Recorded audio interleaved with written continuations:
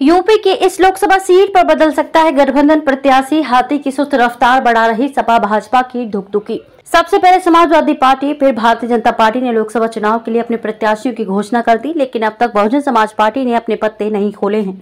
हाथी की सुस्त रफ्तार ने सपा और भाजपा प्रत्याशियों की धुकधुकी बढ़ा रखी है, क्योंकि पिछले चुनाव में बसपा की टिकट पर उतरने वाले मनोज अग्रवाल इस बार खामोश हैं।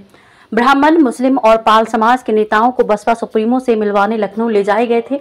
इन्हीं लोगों में से किसी एक पर दांव खेले जाने की चर्चा हो रही है। हालाँकि स्थानीय बसपा नेता पूरी तरह से खामोश हैं और फ़ोन भी नहीं उठा रहे हैं। कांग्रेस नेताओं को गठबंधन प्रत्याशी बदलने की उम्मीद। कांग्रेस नेताओं को अभी भी गठबंधन प्रत्याशी के बदलने की उम्मीद है। समाजवादी पार्टी ने डॉक्टर नवल किशोर शाक्य व भारतीय जनता पार्टी ने सांसद मुकेश राजपूत को अपना प्रत्याशी घोषित किया है। दोनों प्रत्याशी व उनकी पार्टी के कार्यकर्ता चुनावी बेतरनी पार करने को पूरा ज़ोर लगाए हैं, जबकि बसपा ने अभी पत्ते ही नहीं खोले हैं।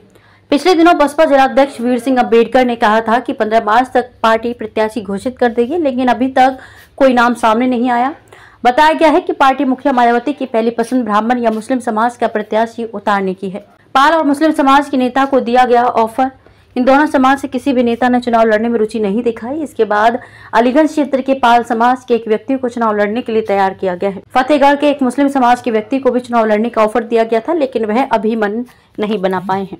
दो दिन पहले पार्टी मुखिया से संभावित प्रत्याशी की भेंट कराई गई थी, लेकिन अभी कोई फैसला नहीं हो पाया है।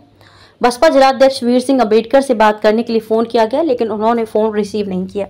वहीं कांग्रेसियों को अभी भी उम्मीद है कि परिस्थितियाँ बदलेंगी और गठबंधन से फरुखाबाद की सीट कांग्रेस की झोली में आ जाएगी। कांग्रेस ने अब तक नहीं घोषित किए सभी प्रत्याशी। कांग्रेस के कार्यवाहक जिलाध्यक्ष मनोज गंगवार ने बताया कि पार्टी की ओर से गठबंधन प्रत्याशी को लड़ाने के लिए पत्र कई दिन पहले आ गया था। अभी पार्टी ने प्रदेश में सभी सत्रह सीटों पर प्रत्याशी घोषित नहीं किए हैं।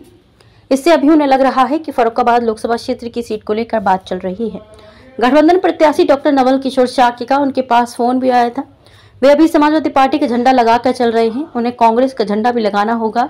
तभी हमारे कार्यकर्ता उनके साथ खड़े हो पाएँगे। एक दो दिन में स्थिति स्पष्ट हो जाएगी। वे पार्टी के निर्देश का पालन करेंगे।